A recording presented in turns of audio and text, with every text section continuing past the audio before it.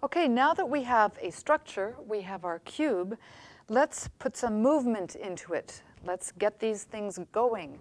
What we're looking at is put attaching wheels and axles to our structures.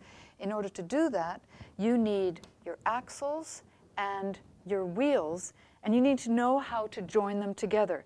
Just because you have an axle and a wheel with a hole in it doesn't mean that it's going to be a good fit.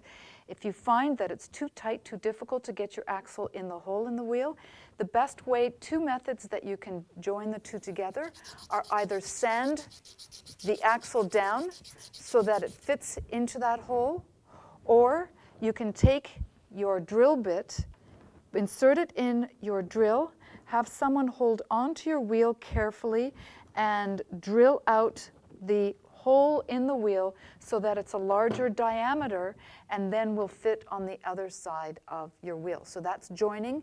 The components are your wheels, joining your axle and wheels. Now, how do you attach those to a frame?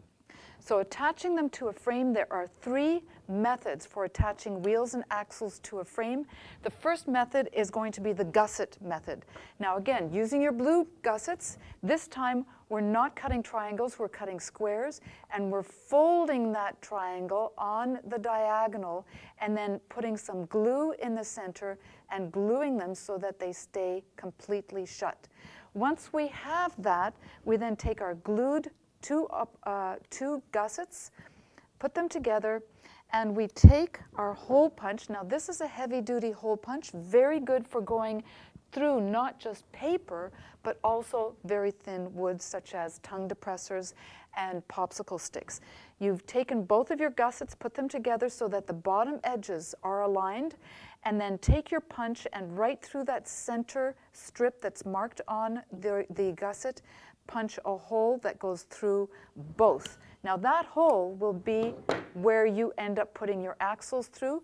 You then attach your axle holders to either side using some glue. So this is to either side of your frame using glue. Now be careful. When you do attach these, you also have to have your axle with you so that you can insert your axle through the holes and make sure that that axle is aligned.